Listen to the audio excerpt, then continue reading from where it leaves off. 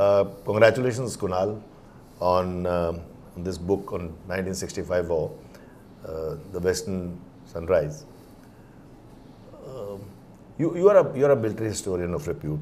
One has been following your books right from that long road to Siachen that you wrote um, uh, on the Siachen issue.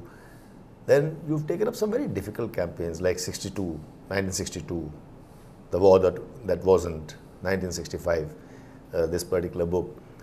Um, of course, one has been following your North-Eastern trilogy and other set of uh, coffee table books and such like books that you're doing. Coming down to this particular book, I think this is a very uh, candid and an incisive account. And if I, I, may be allowed to say, is rather blunt and uh, very harsh at times, and I'll talk about that, uh, talk about that later. I say that in a very complimentary sense though. In this, my sense is, and allow me just a couple of sentences before I ask you the first question. India had gone through this debacle of 1962. You've written about it in earlier book. Um, on the other hand, in early 60s, uh, Pakistan got massive military aid from the US. It was amounting to uh, over $3 billion. And $3 billion that time was a lot of money. So Pakistan had uh, very advanced fighter jets, they had saber jets, they had Patton tanks, uh, whereas India was just sort of uh, struggling to get its act together after the 1962 war. So on one hand, it was buoyed by that military support they had. On the other hand, uh, I think they banked too much on the Kashmiri popular support. They thought there would be an uprising, and then they launched this attack. Um, what happened then is something that you, it was a kind of a stalemate. Uh, both sides called it victory and went home. Um, what are your, how would you like to, I mean, I, this is as a, as a military man, this is how I see the war. How would you like to sum up in, in very few words, uh, talk about your book, and then I'll ask, try and ask you some questions. Well, firstly, it's a pleasure to be with you, sir. Thank you. In fact, uh, Long Road to Siachen was co-authored with Brigadier Williams, who's yes. from your, your battalion. Yeah. And I think we met at his residence the first time. Yeah. Of course, you were in Assam Rifles also before that. So as far as 1965 Western Sunrise is concerned, it's actually a continuation of 1962, mm. uh, the war that wasn't. I actually say so. Mm.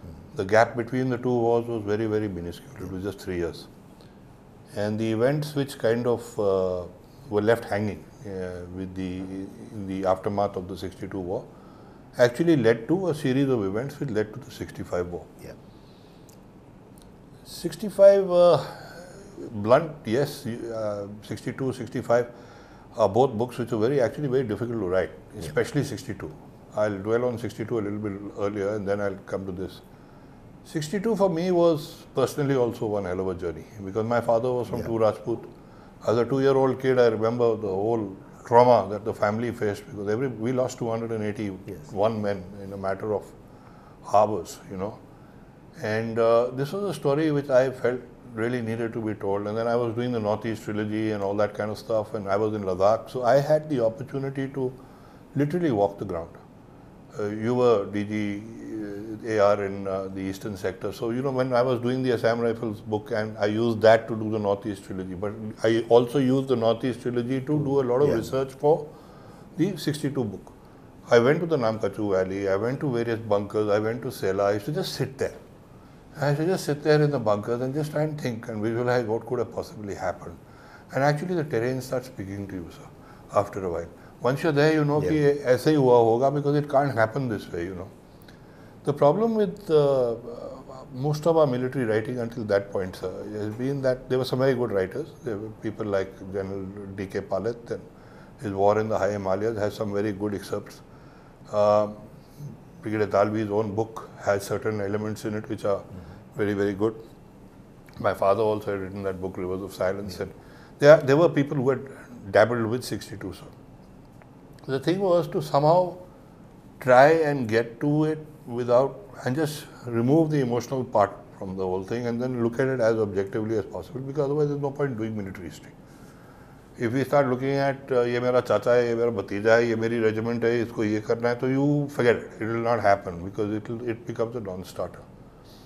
So I think to that extent I managed to detach myself to some extent from the 62 book, but it was a very, very difficult book to write. And that then led on naturally to the 65, but 65 itself I found was completely misrepresented. Mm-hmm. There was a, all the writings on 65 have been uh, mostly so they've been centered around General Harbaksh's own writing. His war dispatches, for example, has also very heavily influenced the Ministry of Defense uh, uh, official version of 65, which has only now been declassified, etc. And everybody was feeding off each other. You know, if somebody said something, they would take that as the gospel truth and usko leke phir recycle karke. And this guy is quoting this chap, this chap is quoting this guy, this guy is, it was going back and forth. But there were a lot of discrepancies there, so which were mm-hmm. not making any sense. And then Maharaja Amrinder and uh, uh, Mao Shergill wrote the, another very, very good book, I mean, The Monsoon War. But again, they kind of reinforced a lot that had been said at that time. It also became very armored corps centric, the entire reportage of the 1965 war. The Pakistanis were on a different plane altogether. The, the major influx of weapons started in the 50s itself when, when Eisenhower visited Sure. Uh, Pakistan and Pakistan became a member of NATO and uh, CENTO. Everybody talks about the fighter jets, the F-104, the Starfighter, the F-86, yeah. the Sabre jet. They talk about the Pattons. They talk about even the French submarines, the Daphnes. Hmm. But that was not the issue, sir. What was the real qualitative and quantitative difference was the artillery support that they had. Okay. It was absolutely phenomenal. It was phenomenal. I mean, they were saturating that western frontier with the kind of artillery support they had. But in that changeover from the British doctrine to the American doctrines of fighting, etc., they became very armored corps centric. Yes. Their entire infantry concept, except for the mountains, which was the 12 division area, had gone out of the window. And this is what they were actually wanting to initially test out when they came into the Rann of Kutch, etc. Now, Again, there's another myth that the Navy was not involved in 1965. But in my view, the war actually started because of a naval exercise that we conducted off, off the Kathiawar coast. Hmm. Yeah, true. It started in Kutch. That was later, sir. Ah, no, sorry, you're talking. So what happened was the, we had sent Vikrant there, sir, and there were Seahawks and Alizés buzzing all over the place. And from a Pakistani perspective, India had lost the 62 war. We are hanging around in the Gulf of Kathiawar and that you know that whole area. And look at it from Bhutto's perspective, he was the foreign minister. His father had been the prime minister of Junagadh. Hmm. And it was an amphibious landing, as you know, in 1948, which actually swung the whole thing around. So he, so when he's looking at it, looking at it from a Karachi perspective, also 50 Independent Para Brigade was the one which was being activated. They were seriously thinking that the Indians are going to do some sort of an amphibious assault on Karachi. Hmm. Right. And I think that what actually happened in the Rann of Kutch is actually a spoiling action in a manner of speaking. Because the moment the Vikrant pulled out of the area, they decided, okay, this is a good place to try and see kya hota hai. And there the ground was entirely in their favor. Because you see, the Sindh is hard ground. And then there's a huge swamp. And the whole debate about the Rann of Kutch has been that the maritime law should apply and it should be halfway this there. So we were and completely. That, that and that, sorry for interrupting you, and that is the time when we launched in Kargil, right? Subsequently, sir. Abhi after, Abhi after This was in April, May, sir. This is, uh, Kargil happened after that. Hmm. So when the operation started, in uh, the Pakistanis actually first tested out this concept of APCs and they brought in the Pattons, which was a mistake on their part. Because when we launched those vampires and we filmed it and when we produced this as evidence to the world, etc., they were on the back foot because the agreement with the Americans was that this hardware cannot be used against India. Okay. It was supposed to be got against who the hell they wanted it, but you know they, this was not supposed. That's this was one of the clauses. That's interesting. And uh, then, of course, Harold Wilson and the British got involved. The British, of course, have always had a finger in every pie. Now, another thing which the 65 war also brings out is the fact that Mountbatten, mm. after the 62 war, was continuously hanging around Delhi. Sir. He came thrice. A man would be in the Viceroy. Well, now the, at that time he was officially the CDS of the British Army, and he used to come, and you know he was, and he instigated Nehru into releasing Sheikh Abdullah, and the whole Kashmir thing restarted. In fact, Nehru had more or less decided that the valley will be divided and the whole matter will be shut because Mountbatten, for Mountbatten, the biggest failure, which is what I've dealt in the long road to Siachen, was the fact that when he went back to England, Churchill never spoke to him again. He says, You've completely ruined all our British interest because Kashmir was Kashmir. an integral part of that. So he had a role to play. So he came, he played on Nehru's mind. Sheikh Abdullah was let loose, then Nehru died. And Sheikh Abdullah was actually that time with Ayub Khan when Nehru has passed away. And then Shastri came. Shastri was a different cup of tea, yeah. completely different cup of tea. And, and, and that's where we really started developing some sort of a spine. And what happened in the Rann of Kutch was also a stalemate. I mean, there was the Pakistanis True. launched a full-fledged attack. Three para and four para fought pretty well. They held them off. Yeah. It, more than that, even those 25 CRPF boys at the uh, Sardar post put up a fantastic performance. At least we were not running. You know, I mean, Pakistanis had thought, ये तो बुजदिल हैं, ये तो वो चीन के साथ ये हुआ था, हमारे साथ भी होगा. Exactly. All we need to do is show up and they'll run away. It didn't happen. Now that is where, after the ceasefire, we went in for this thing Op Ablaze where we started planning all kinds of things and that's when, the, when that's when Kargil happened sir. Because that is when four Rajput and uh, the guards unit etc were involved and again those were operations which happened on a limb sir. Because Brigadier Ghai was brigadier was the commander one to one brigade. That was like more like opening a, a second front or starting something. It wasn't authorized sir. I that's understand. the point. But the because fact remains that they, they did sort of draw the attention away. That was the attempt the thing was we kicked them out of those yes. posts and we started yeah, dominating absolutely. the road. Now that happened. Uske baad they've launched Operation Gibraltar. Yeah. Much, much later, as far back as September. But there again lies a hell of a story because where did all this happen? How did it happen? The GOC 12 division yeah. was a, was a, like a was like a loose can. So, but like when you when you look at the Kargil War, yes, 1999 one of the things, uh, there may have been constraining factors, but one of the things that did not happen was we did not open up another front. We could have done something, but there were other reasons. I'm not denying that. Unlike that, here in 1965, one sees that we started something in Kargil, like unauthorized, as you said, but but that was the uh, result of it. It happened. Thereafter, when uh, Pakistan launched and made gains towards Chhamb, we launched towards Lahore Sialkot. It all became a kind of yeah, it became a reactive, reactive. counter reactive. So all I'm trying to say, at least we were opening a different front. We we even captured Haji Pir. That it was given away later was a separate matter. So all, all I'm trying to point out to the operational or the tactical necessity of opening. Uh, but sir, we did, but we did it in Kargil. Now that's the beauty yeah, of the whole thing. In 1999, we had a second front. Very few people talk about it actually the Navy went and blockaded Karachi Harbour. Yeah. Now that's a huge thing. I remember talking to the Admiral uh, Sushil Isaacs at that time, and he said, "Listen, Army we are one is to one virtually because of the deployment on the yeah. ground. Air Force maybe 1.5 to 1.25 or one, one is to again one and a half to one. He says Navy we got an eight to one superiority, mm. and Vajpayee had actually uh, the, the the said go ahead and uh, blockade the harbour we had submarines sitting there. We had made it very obvious to anybody, anybody coming into this area, we'll see, kahan jaoge tum? And that made a hell of a difference because the day we started blockading Karachi, Karachi mm-hmm. Nawaz Sharif was running to the United States and throwing himself at the feet of Bill Clinton. Yeah. It is, that is what has actually, so the second front was open, so it's just right. that we don't talk too Good. much about I'm it. glad you spoke about it. And now since I mentioned Haji Pir, there is a common perception amongst uh, this Indian citizens at large. Haji Pir had was gained in 65, we captured it, but in Tashkent agreement, uh, Shastri gave it away. Now, there are reasons and somehow that don't stand out, we don't talk about that. Would you like to throw some light and uh, throw light on that? Sir, I think it's a very, very deep question and now certain papers have now been declassified as Especially you know. about Chhamb. Especially about Tashkent, sir. Okay. Right, and uh, what is emerging now is that the Americans had their finger in every pie. Mm -hmm. Even 62, a lot of the fighting has happened because of what the CIA was doing in Sikkim, sir. Mm-hmm. You know, they, they got the Dalai Lama out in 59 year war, and we've always landed up holding the cat.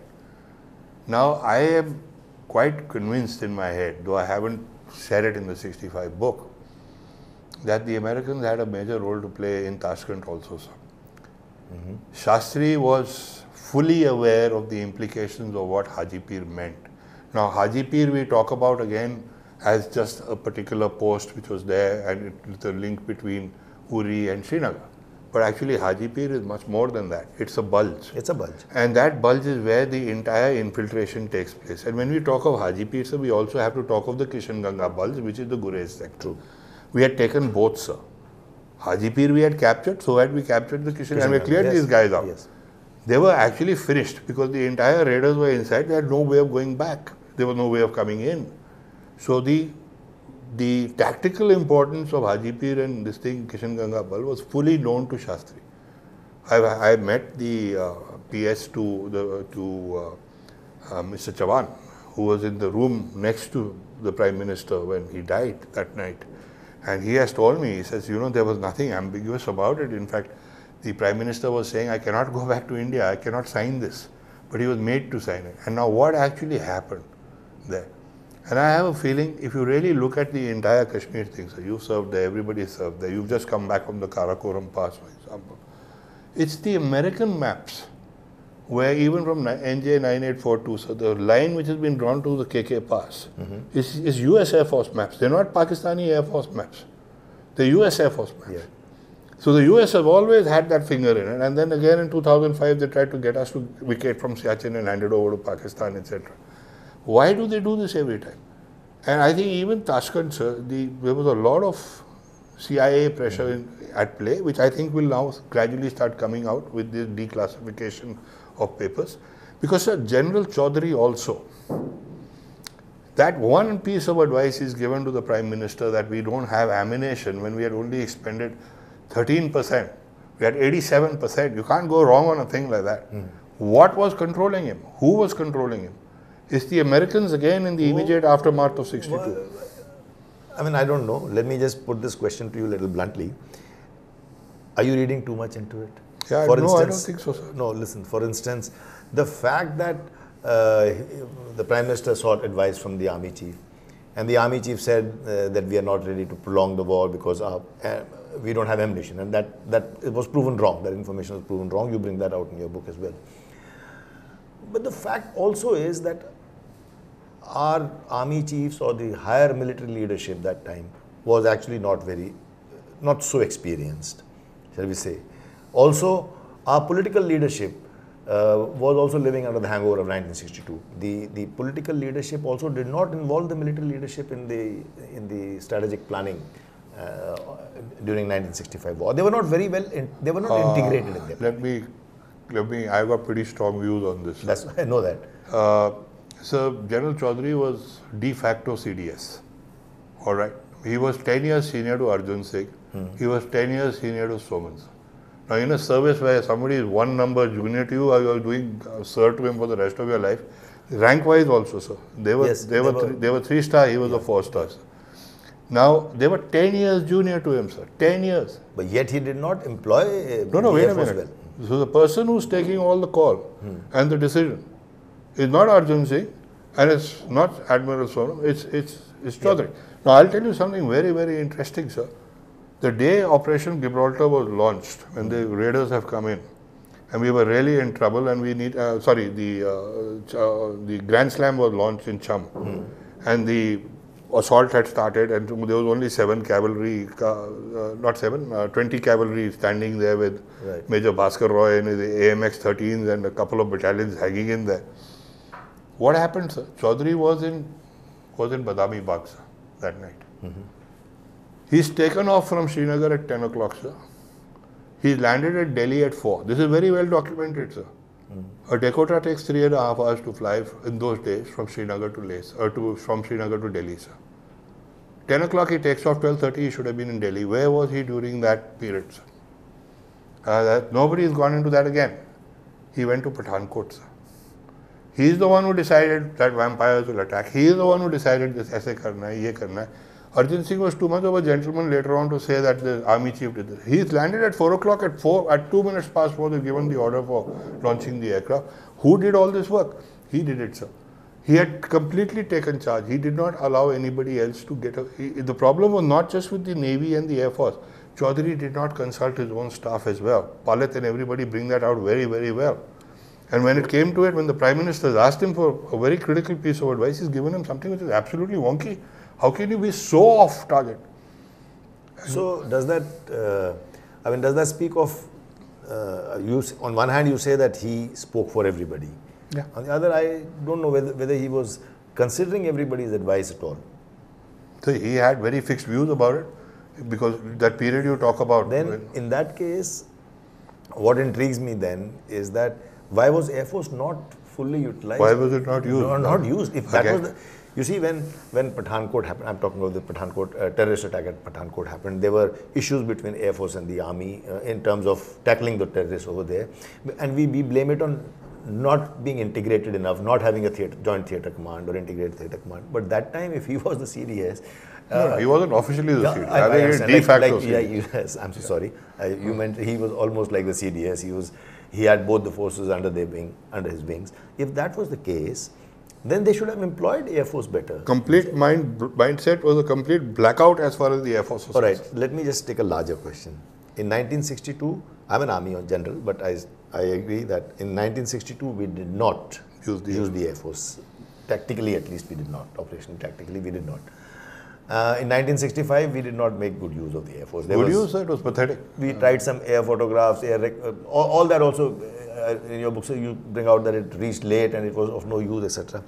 So today also, when now we are at the cusp of uh, integrating our structures and creating integrated theatre command, the CDS has been appointed, all that reforms are taking place.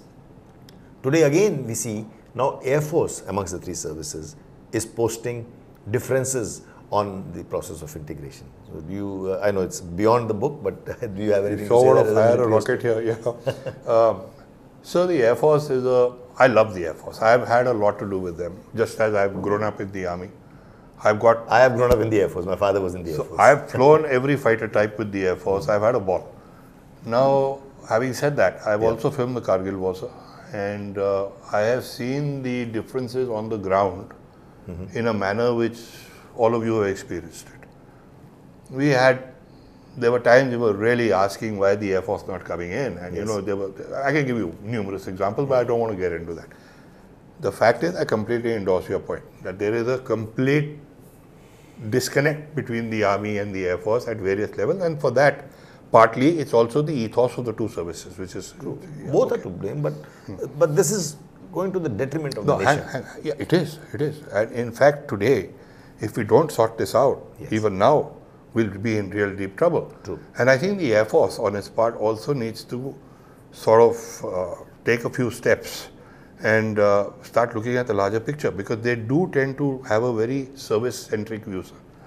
62, why the Air Force was not used, is a question which you know a lot, lot of people. Again, the myths which were there around the war. Everybody said it's Nehru's decision not to use the Air Force. It was not true, sir. It was later Air Marshal uh, Dewan, who was the CNC in 71 in Eastern Command. He was ACS Ops. That time he was an Air Commodore. I was interviewing him for that film, Salt of the Earth, on the, and we were talking to him about Burma and this, that. And 62 hadn't come up because he wasn't, I never correlated Connected- him to connected, him. yes. So when I started to pack my Nagras and the know sound systems and all that, and he says, Kunal, better to say I have something else to show you and talk to you about. I said, what happened? He says, 62. Everybody talks about BM Kaul. I had a major role to play in it. I said, what are you talking about? And he said, I am the one who convinced Panditji not to use the Air Force. And it was actually he and BM uh, Mullik, the intelligence guy, who What, what is what the reason that he advances? he gave very good reasons for it. He said, in fact, he called his wife. He said, "Get my logbook," and he said he was with Seven Squadron or Five Squadron or whatever. I think Seven Squadron. He was flying the uh, the reconnaissance Hurricanes. He says he did 471 sorties. I still remember that number. Okay. He says I was going crisscross, crisscross, crisscross. I never saw the Japanese. That's the Japanese. No, it was also different terrain, sir. It was a, it is a Naga Patkai. You were looking, it is a, a very difficult area, but unlike the passes on the, on the other side in the Himalayas, it's passes. You ha- they had no option but to come through Khinzemane and they had no option but to come down. certain- So we had to just the, strike at the very base of that and the Air Force would have played a major role. Where Mullik failed was that the Chinese were not capable of flying, so they didn't have aviation fuel. You referred to Jagannath sorties. He was flying up and down, up and down, up and down on the northern side of the Karakoram. He used to cross over at KK Pass. Every photograph, every vehicle number, every track, sab kuch tha. Later, Daulat Singh said Air Force didn't give us the photograph. He is written a citation for a Mahavir Chakra. What is he talking about, sir? We need to start telling the truth. The fact is, we had all the information we wanted. We just did not use it.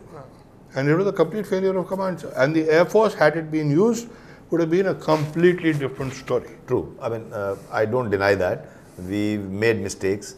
Uh, we need to learn from our mistakes, and for that, what is required is honest, honest chronicling. Yes. Uh, only then can lessons be learned. If we try and paper over things, we, it won't work. So let me ask you a last question. Uh, you have been, uh, in my view, rather harsh on the generals. You have said, uh, and I, I, I recall the sentence, you said that had uh, General Chaudhary or General Harbaksh being serving under Hitler or Stalin, I included Arjan Singh also in that. oh, you did? Yes. Okay.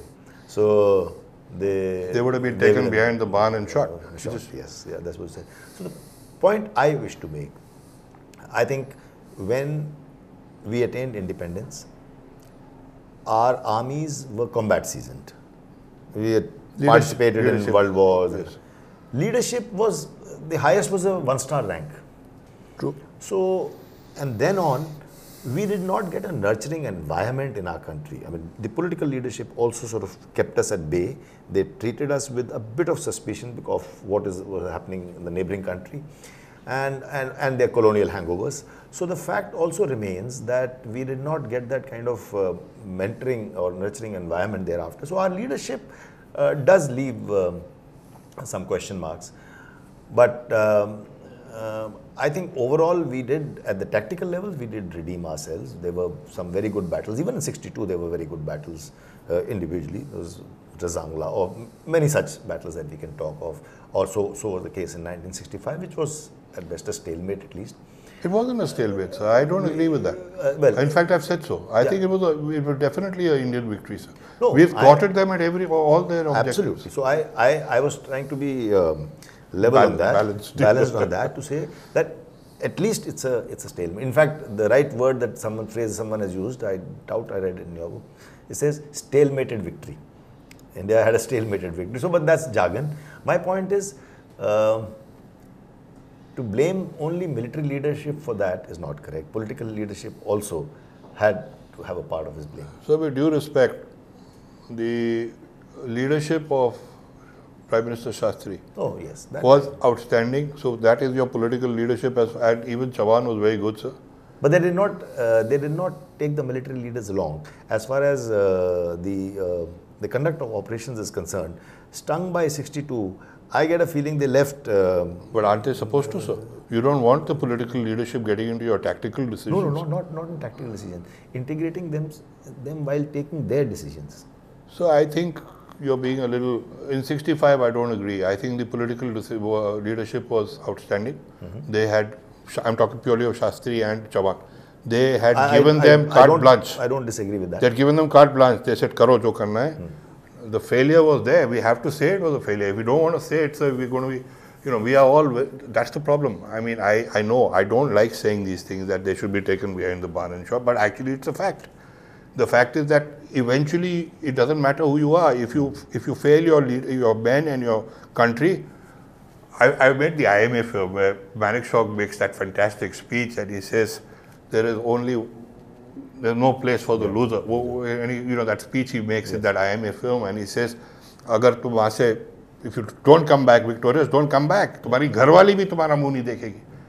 तो sir यहाँ पे क्या हम बात कर रहे हैं? इनको तो मैं तो सिर्फ़ ये बड़ी पोलाइटली कह रहा हूँ कि इनको गोली मार देनी चाहिए। चलो but that that is my view sir but I I think it needs to be said sir I didn't say it lightly let me just say that way sir let me put it that way alright I, I agree with you that uh, to the extent that we should um, have a very honest uh, analysis of our wars if we want to win. That Definitely, so Otherwise saying. you don't- Otherwise we paper over. If you our- don't our keep faults. looking at what you actually where you've gone wrong, how, how do you expect to find any kind of how do you course correct? How do you do these things? Thank you, Kunal. Thank you very much, sir. Uh, for, always uh, a pleasure being with you. Same here. Thank you for all the books that you're writing, all the service that you do to military history So and it's learnings. been a pleasure. sir. Thank you.